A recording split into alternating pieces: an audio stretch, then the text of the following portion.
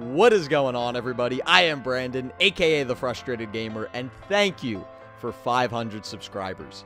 Now, many of you guys know I've said it in a lot of my videos. My goal when I began this channel was to get to 1,000 subscribers. And guys, we're halfway there.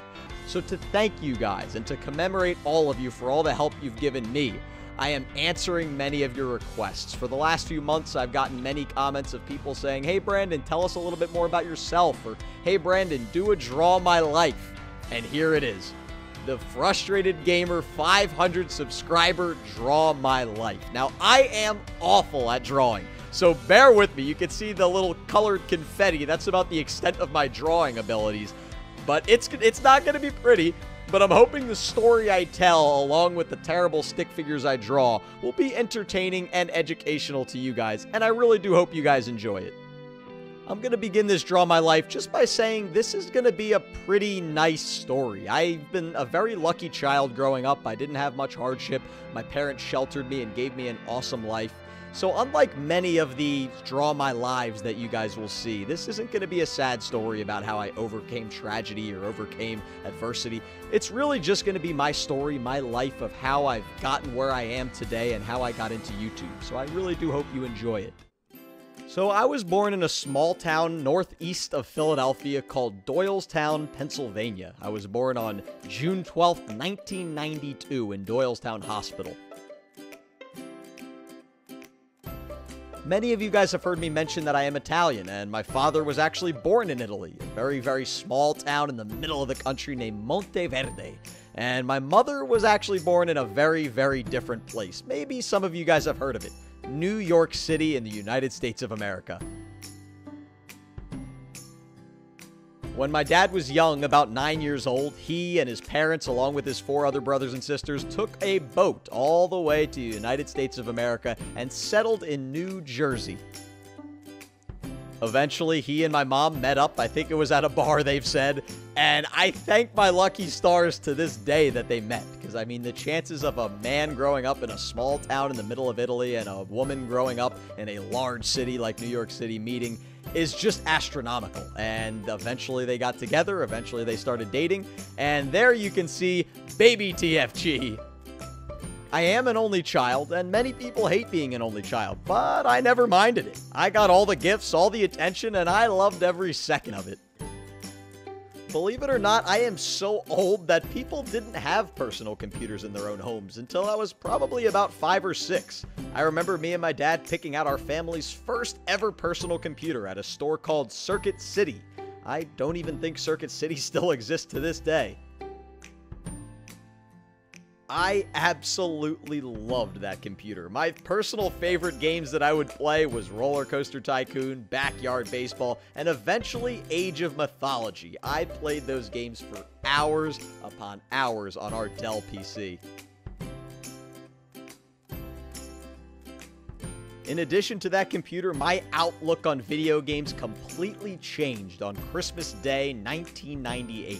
My parents, or Santa, surprised me with my first ever video game system, the Nintendo 64. The first game I ever played, I remember. I remember to this day. It was Mario Kart 64, and I still play that game to this day. I loved that N64 so much. That is my awful rendition of Santa Claus. In addition to the video games, I was also always a very active kid, and I basically played any sport that I could get my hands on. While I hated it at first, I eventually began focusing most of my attention on tennis, and I seemed to be pretty good at it. Around the age 5 or 6, I attended my first ever school. It was kindergarten at a school named New Hope Solebury, and it was a pretty small school. I had about 500 kids in the entire school, so 500 subs means a lot to me. I can say for once that I have more subscribers now than I had in my entire school growing up. I was always a pretty good student. I mean, not the best, not the worst. I don't think I was the smartest, but I always worked very hard. I mean, my parents always tell a funny story of how I never, never missed a homework assignment. It didn't matter how much work I had, it didn't matter how much time I had, I would never, ever miss a homework assignment. Growing up, I was always a very sociable kid, and I had basically no problem speaking in public. I even starred in the fourth grade play as Principal Greenfield, and something happened to change between middle school and high school. I don't really know what it was. Maybe it was just me growing up and becoming more self conscious. But believe it or not, I became terrified. I mean, I had a minor crisis about speaking in public, and I would sweat, I would get nervous, I would even get to the point that I was shaking, and it really made me nervous, and it really bothered me. Not that people really laughed at me, but in my head they were. In my head they were judging me. Many of you guys might be surprised to hear this, but my first ever YouTube videos were released in the spring of 2011. No, it wasn't the Frustrated Gamer channel. It was a tennis instructional channel named The Tennis Guy. I was one of the first channels of its kind, and believe it or not, even though the quality was awful and the content was horrible, it actually began to grow faster than I believed just because I was one of the few videos out there. Sadly, my self-conscious self got embarrassed and eventually I took it down when people started recognizing me. After 13 years at the same exact school district with less than 500 kids, in the spring of 2011, I graduated high school. I ended up going to college and attending the Pennsylvania State University, or Penn State as most people call it. I had always grown up in that same small school district. So arriving on campus freshman year to a school with over 40,000 students, it was quite intimidating. Luckily for me, my best buddy Steve, who many of you guys met in my Austin, Texas travel vlog, also came to Penn State too, and that helped settle my nerves a little bit. While I wasn't good enough to play varsity at Penn State University, it didn't take long until I joined the tennis club and met some of my best friends that I had in college. I was never a big partier in college, especially my first couple years, and while everyone else was out at the frats drinking and having a good time at parties, me and my friends Steve, Kenny, Tom, Ben, Kevin, and Bonesaw, yeah, I have a friend named Bonesaw, we would play basketball and video games and basically anything else to pass the time on the weekends. Oh, and did I mention Bonesaw's pretty tall, a lot taller than the rest of us. One day, my junior year, I was playing tennis at the tennis club, and this new girl walked in. Her name was Sam, and she said she was looking to play some tennis and was new to the place. She was gorgeous, but being the shy self that I was and being terrible around girls, I naturally ignored her for the next month or two. Little by little, we became better friends, but it wasn't for another year that I finally mustered up the courage to ask her out. For some reason, she actually said yes, and we ended up going out on a date to a place, I don't even want to call it a restaurant. It was called Qdoba, where we got burritos. Those are our yummy burritos that we had for dinner that one night. And I will say, if you guys have not met Sam in my videos, she is not a redhead. I just did not have a yellow marker. She is actually blonde, and orange was the closest I could get. It's more than three years later from that day, and Sam and I are still dating, and many of you guys have probably seen her in some of my videos, like the one where I ate a hot pepper. In May of 2015, I graduated with my degree in accounting, and I was not happy to be leaving. I loved my time at Penn State and was not ready to move on.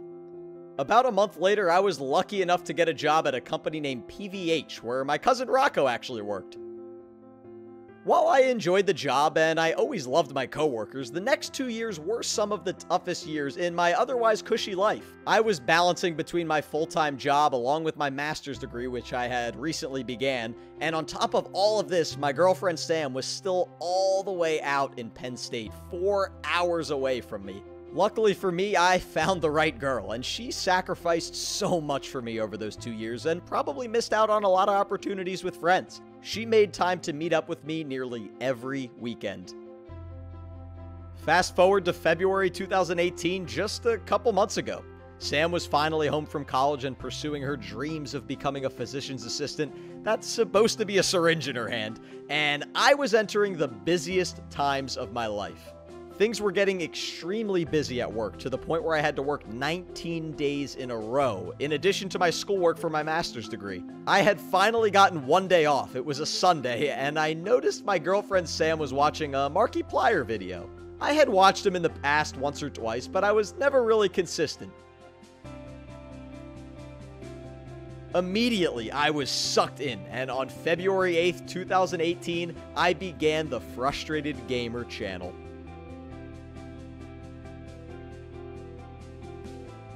My videos were horrible. Everything from the video and audio quality to my nervous and shy commentary were borderline unwatchable. but I became borderline addicted to the science of YouTube. I was never a big reader growing up, but all of a sudden I was reading and researching how to improve YouTube every second that I wasn't busy with work or school. While my channel received essentially no traffic, I was improving. I slowly became more comfortable on camera and bought a nicer microphone and webcam and a better laptop. While I'm still waiting for my quote unquote big break in YouTube, even to this day, I finally began gaining some traffic on a few videos on my channel. Games like Tube Tycoon, Papers, Please, and my .io live streams were starting to get me a little bit of attention. After three months of hard work and a lot of research, I finally reached 100 subscribers, and I was thrilled. The month of July was amazing for the channel. I met so many of you guys that are still active on the channel today. Games like Tube Tycoon got me started, Five Nights at Freddy's Ultimate Custom Night really added to the table, and my Baldi's Basics mods really seemed to add growth to my channel.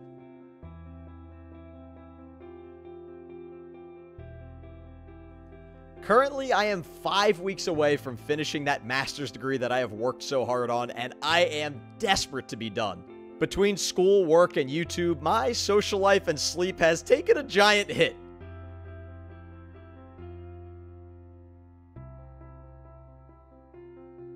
I honestly can't remember the last time I've hung out with my friends, and I also can't remember the last time I have gotten more than five or six hours of sleep in a night. But my hunger and my passion and my will to grow this channel have never been greater, and I am so excited and I am so fired up to see what awaits for the Frustrated Gamer channel in the future. I'll spare you guys of my dreadful drawings for the conclusion. I sincerely hope you guys really enjoyed my life story through drawing. This is not something I ever thought I'd do because I know I am known for being really bad at drawing. But you guys asked for it, and I thought it was an awesome idea. A lot of you guys always want to know more about my life, and I hope this answered some of your questions. Guys, I really, really do hope you enjoyed this video. If you have any questions or anything that's unanswered from the video, mention them in the comments below, and I can do my best to answer any questions you guys have. Thank you guys all once again for helping me get to this milestone halfway to my ultimate goal. And thank you so much for watching the video. Guys, I hope you all have a good one, and I will see all of you in the next video. Now, how do I get this marker off my hands?